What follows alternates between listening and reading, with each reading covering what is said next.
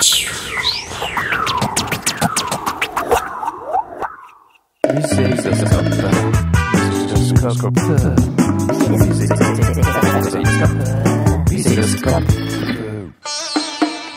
musée du vieux Saint-Antonin Ah, c'est ici, pour. Vous y êtes. Pour une visite. Alors, le conservateur n'est pas là, mais bon, je veux bien vous la faire, moi. C'est pas mon métier, mais je suis ici, alors. Alors, ce qui est sûr, c'est qu'ici, vous n'avez que des objets authentiques, exceptionnels, hein. Vous pourrez vérifier le tout par vous-même. Ici, par exemple, vous avez une chose amusante. la poudre contre l'ivrognerie. véridique, véridique.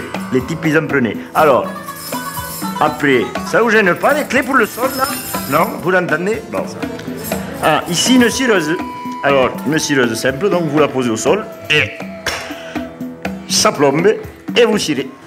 Hop Ça par exemple, c'est un tournebroche très ancien. Vous tourniez là, voyez, puis la pierre descendait et hop, ça remontait et tourne que tu tournes.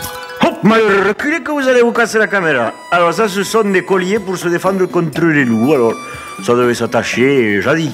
Alors là, par exemple, vous avez des patins que mettaient les dames au XVIIIe siècle pour préserver leurs leur robes de la boue. Vous photographiez là?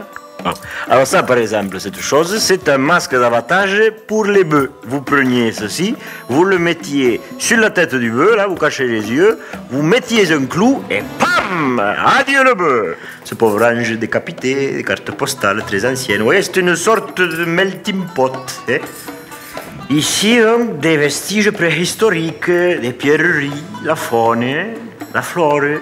Ah, n'oubliez pas en partant de regarder la façade, hein, vous êtes dans le plus ancien bâtiment civil de France.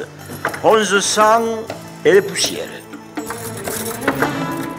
Merde. Fermé.